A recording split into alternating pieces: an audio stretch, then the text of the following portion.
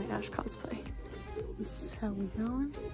We've got sweatshirt, shorts, and one boot on without milk.